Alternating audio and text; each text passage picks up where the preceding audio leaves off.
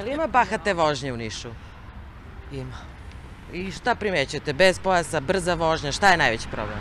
Ja, ja stvarno ne bih kontrolisala, ja sam ogorčena za vožnju, za parkiranje, za sve što je vezano sa saobraćaj u Nišu. Ima, noću, motorima. Kakvi su vozači u Nišu? kao i svud u Srbiji. Ima, normalno, ja sam vozač, tako da zavisi od nervoze. A brzina jeste iznad neke optimale za grad.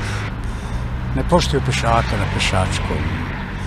A inače, brza vožnja, ova dečurlija vozi, to je nemoguće. Neprilagođena brzina, nevezivanje pojasa, nepoštovanje propisa, ali i sedanje za volan pod dejstvom alkohola. Najčešći su prekršaj, pokazuju podaci kontrole saobraćaja Niške policije. Da brze vožnje ima, potvrđuju i taksisti. Ima dosta brze vožnje. I uglavnom sa, sa tablica, s tablicama koje nisu iz Niša. Aleksinac. Treba da se menja sistem kulture i uopšte edukacija. Ma more kazne, kazne, ošini ga ti u zatvoru, kaznu veliku. Ohrabro je činjenica da se građani posle nekog slavlja sve češće prevoze taksijem, a ne sedaju sami za volan. I dosta ljudi je počelo kad pije da ne vozi zbog, zbog kontrola policijskih, tako da baš puno njih kad ide u kafanu, kad planira da popije, ide taksijom.